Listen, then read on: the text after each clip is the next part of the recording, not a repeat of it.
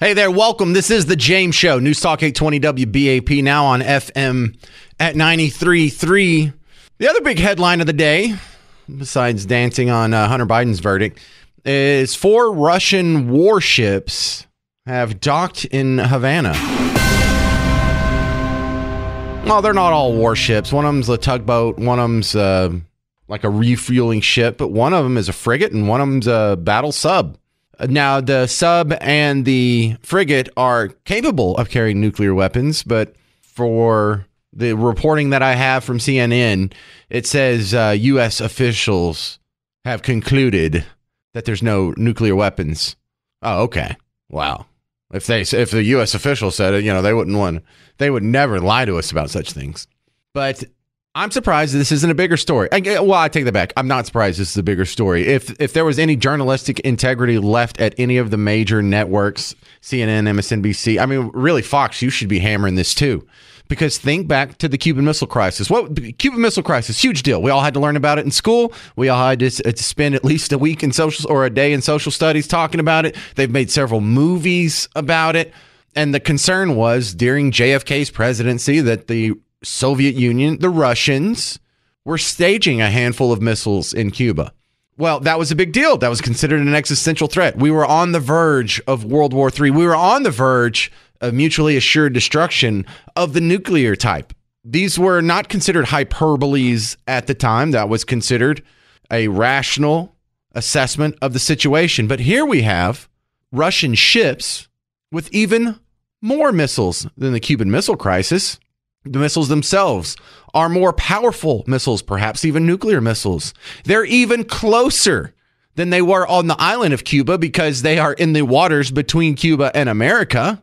And these military ships, both submarine and battle frigate, have enough firepower to basically er- erase all of humanity from Key West to Disney World. So, by any measure on paper, when if you're making the T chart, this situation that you're living under right now is a much bigger threat than the Cuban Missile Crisis ever was. But watch how the media covers for it. No, this isn't emergency mode because this would be what? This would be a foreign policy failure. They can't have that.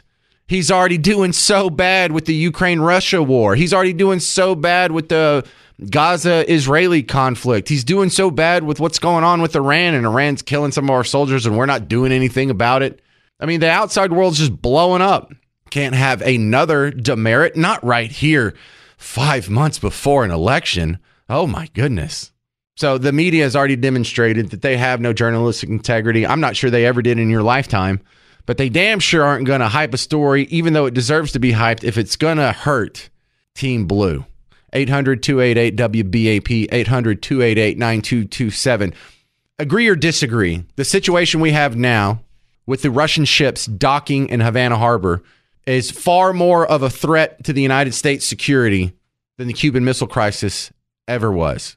800 288 9227. You think you don't like the mainstream media. I posit that you should like them even less. They do not deserve any of your respect if they are if they are dodging this. They do not deserve any of your respect if they told you lies that have I don't know maybe closed your favorite restaurant, ruined two years of your kids' schooling, inflated our currency, and cost uh, my my Subway combo. I just got a foot long chips and a drink, thirteen dollars.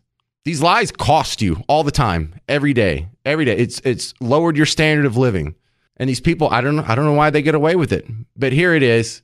Russia now has ships. Now why now why is Russia doing this? Let's ask that question. Well, I, there's two reasons. Number one, Russia has said that they are con- they're considering how, how is this worded? Let me get this right.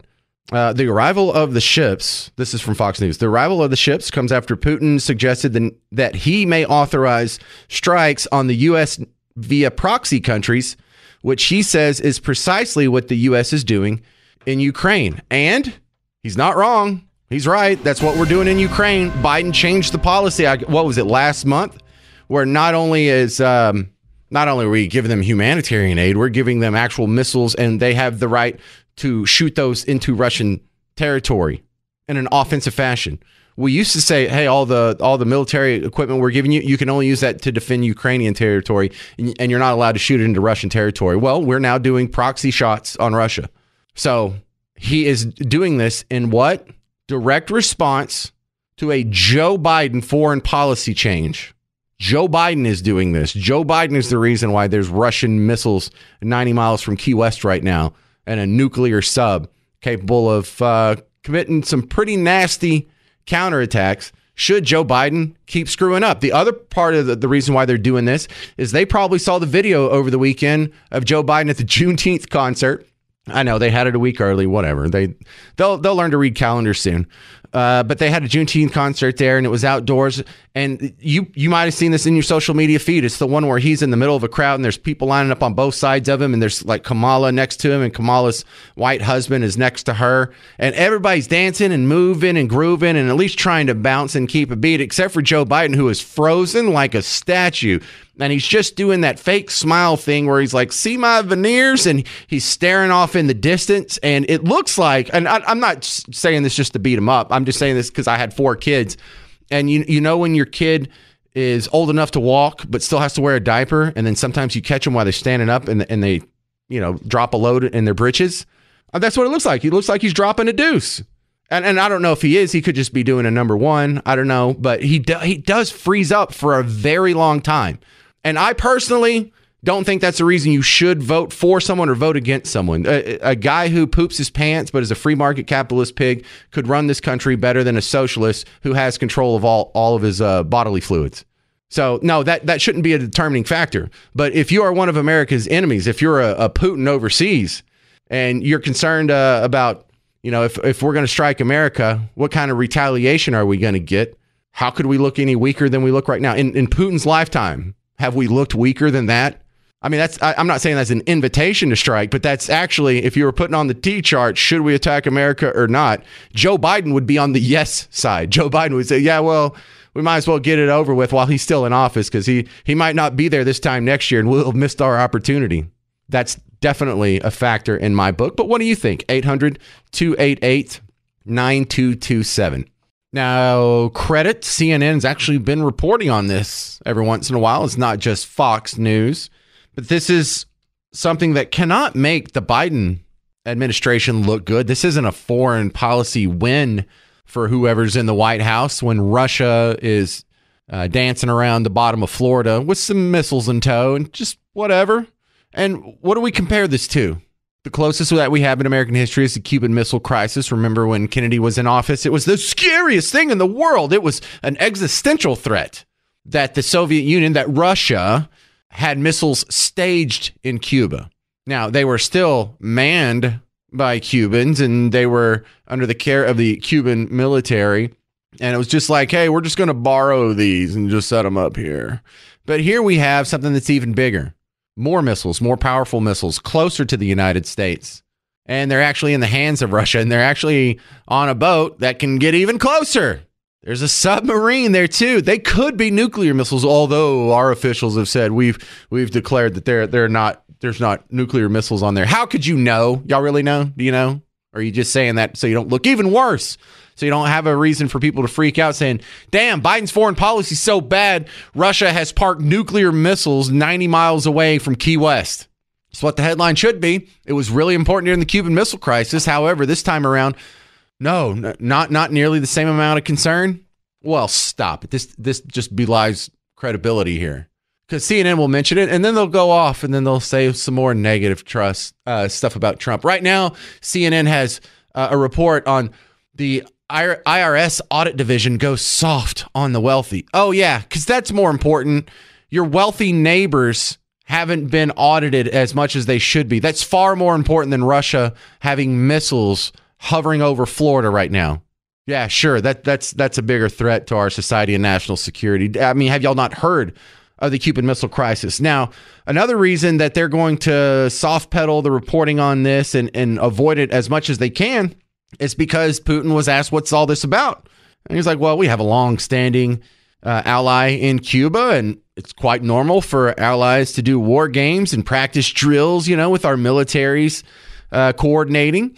And anyway, I don't know. Uh, I don't know what the concern is here because you know I'm I'm also thinking about we need to start pre gaming and and working together because I'm I might have to authorize strikes on the United States. Oh, that sounds scary. That sounds like it might be a headline worth reporting. Putin said he's thinking about doing strikes on the United States via proxy countries.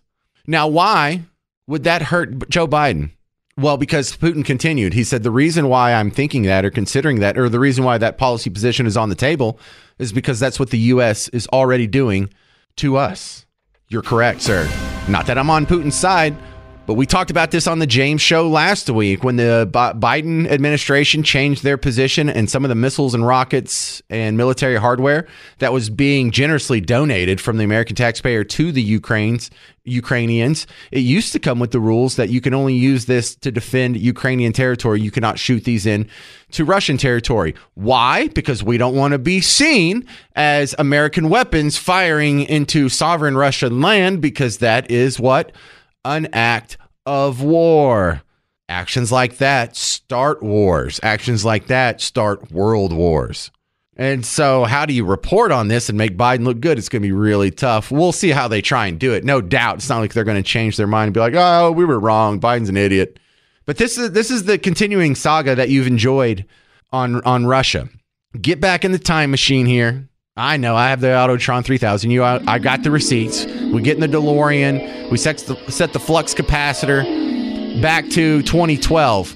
In a debate, Mitt Romney was asked. He's the opponent of Obama here. He's against Obama. Who do you think is one of the biggest geopolitical foe the United States is facing right now? And he said Russia.